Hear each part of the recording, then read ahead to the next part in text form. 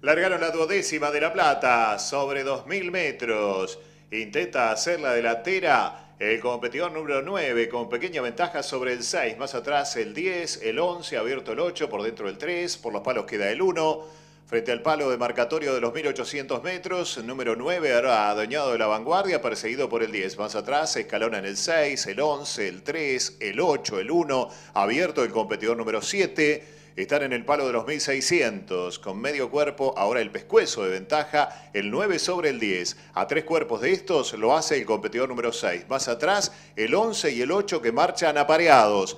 Hacen su ingreso a la recta opuesta. Número 10, ahora Tres cuartos de cuerpo de ventaja sobre el 9. Se les viene aproximando a estos el competidor número 6. Más atrás avanza el 8, abierto, progresa el 7. Luego el 1 por los palos, el 3 entre medio están llegando al palo de los 1100. Número 10, ahora con apenas la cabeza de ventaja sobre el 6 que ya lo va superando por fuera. El número 9 ha quedado a un cuerpo y medio de estos, ahora dos cuerpos y medio. Más atrás el 8, el 7, llegando a los 900. Lucha franca por la delantera entre 6 y 10 prevalece por escaso margen el competidor número 6. Luego se va quedando el 9, vienen progresando abiertos 7 y 8 apareados. Están en los 600. Sigue la lucha por la delantera. A rigor del látigo, el 6 mantiene pequeña ventaja sobre el 10. Se les aproximan a estos 8 y 7 abiertos. Queda por dentro el 9, más atrás lo hace el competidor número 5.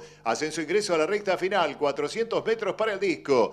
10 abrigados los palos. A su costado exterior el 6, más atrás el 7, el 8 y el 9. Últimos 300 metros para el disco.